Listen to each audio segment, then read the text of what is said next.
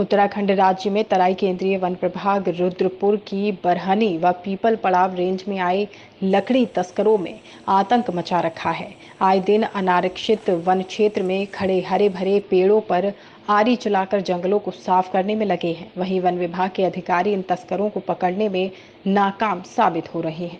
कुछ दिन पूर्व ही तराई केंद्रीय वन प्रभाग रुद्रपुर की पीपल पड़ाव रेंज से तस्करों ने कई सागौन की बेशकीमती लकड़ी काट कर ले जा रहे थे, जिसको गदरपुर पुलिस द्वारा पकड़ लिया गया।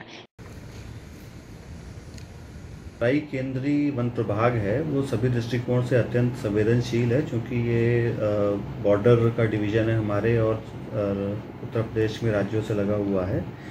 तो इसलिए स्टाफ को हमेशा सतर्क रहने के लिए, गश्त करने के लिए निर्देशित किया गया, जिसके क्रम में, इसी के क्रम में दो दिन पूर्व सूचना प्राप्त हुई थी कि कहीं से लकड़ी काटी जा रही है। तो सूचना मिलने पर वहाँ पर जाया गया, उस पर जाँच करने के बाद वो लकड़ी जो है किसी आरा मशीन में मिली है। तो लकड़ी जब्त कर ली गई है और संबंधित आरा मशीन के विरुद्ध केस पंजीकृत, आवश्यक कार्रवाई की जा रही है और